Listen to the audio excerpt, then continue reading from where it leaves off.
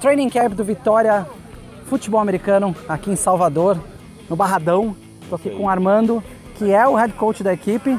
Você foi para São Paulo, fez lá um, um, a Isso. clínica no começo do ano. Acho que eh, pegou algumas coisas novas para aplicar para a equipe. E hoje vocês fizeram. Conta um pouquinho para a gente desse, desse training camp que vocês fizeram esse final de semana. O que, que vocês. O que que foi feito? Teve aula, teve vídeo, tem treino hoje, tem treino amanhã? Isso. A gente preparou basicamente um, um mini camp, né? Na verdade, são três dias de treino. A gente ainda está na cidade da gente, a gente não, a está no, no training camp, num lugar reservado com todo mundo para fazer um trabalho não só de campo e de, de- de vídeo, mas também de agregar o pessoal, de tentar o pessoal se conhecer, que algumas pessoas não conhecem a vida um do outro. E é importante que a gente passe isso dentro do futebol americano. Criar a família, né? Que a gente Justamente, fala criar times. família. Então, o objetivo do minicamp foi justamente concentrar o time todo, que a gente às vezes fazia só treino da defesa, treino do ataque, sabe? Cidade grande, tem essa É, é dificuldade difícil, de juntar né? todo mundo, né?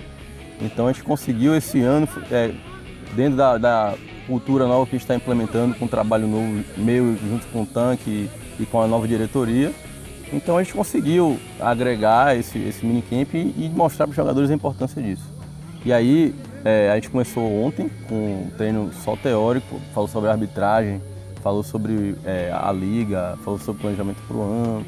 E aí se, é, hoje de manhã a gente também fez é, treino te, é, teórico, falando sobre o, o Marechais, falando sobre o último jogo que a gente fez, então, dando um balanço do que foi, já foi feito esse ano e preparando também já o time para a BFA e para a final do Velho Chico aí contra o Marechais. Era justamente isso que eu ia perguntar, na verdade. Então, esse, esse minicamp foi visando mais o, o segundo semestre, o BFA, ou foi, ah, não, vamos, vamos treinar com...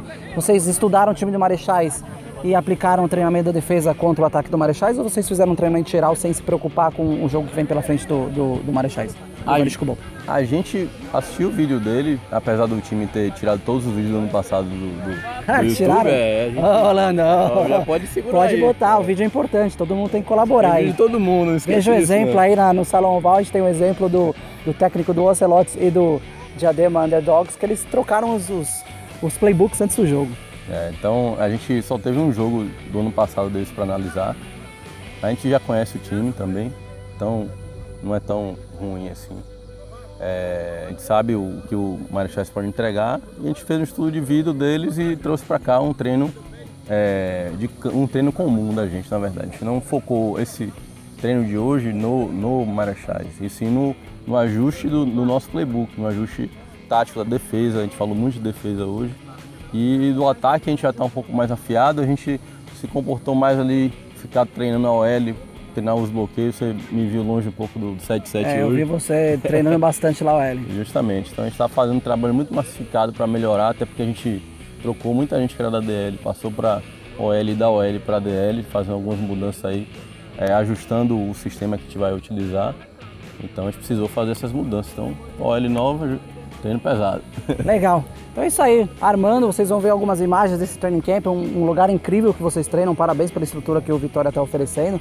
Os pernilongos já estão começando a... Ah, tá batendo na perna. Ah, é, então é isso aí. Aqui com o Luciano, que é, teoricamente, o papel é o presidente da, da equipe do, do. Vitória.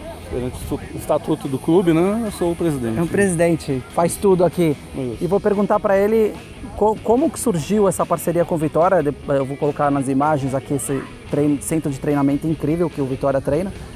Como que surgiu essa parceria com o Vitória e o que que, o que que vocês ganham com essa parceria? Eles dão somente o local de treinamento ou tem mais alguma coisa? Pronto. Essa parceria surgiu no ano de dois- an- 2012 com o Salvador Alcentes, né?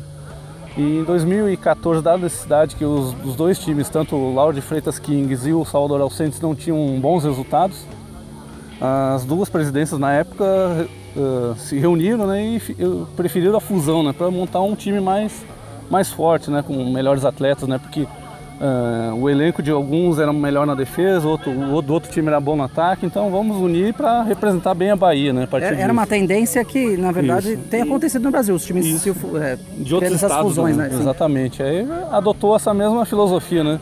E surgiu com isso, né, o Vitória Futebol Americano em 2014. Em 2015 aí disputamos a pré-liga, né, como era um novo time, né?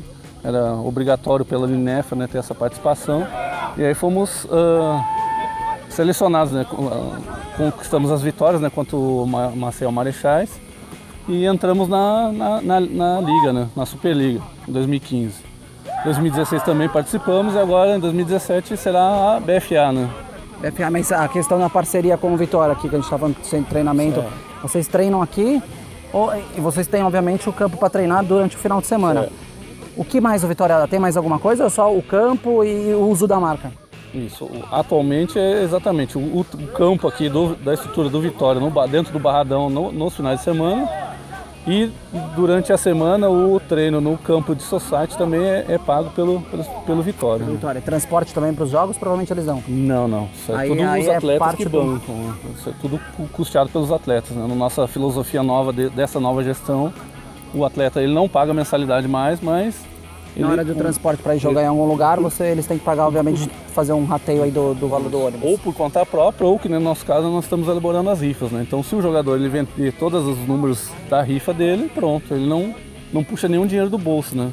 Claro. Cabe da capacidade dele vender a rifa e pronto. Pra conseguir... Ele consegue custear todas as despesas da viagem. Né? Para conseguir pagar. Então é isso aí, eu sou o Kaká diretamente aqui de Salvador, centro de treinamento de Vitória, com o Luciano, para vocês conhecerem um pouco mais aqui da equipe, que era o Vitória o Salvador All Saints, que foi uma fusão com Lauro de Freitas Kings, ele era do Kings. Isso, era do Kings. E juntou, fez o Salvador All Saints, virou Vitória, e é isso que vocês estão vendo hoje, Vitória Futebol Americano.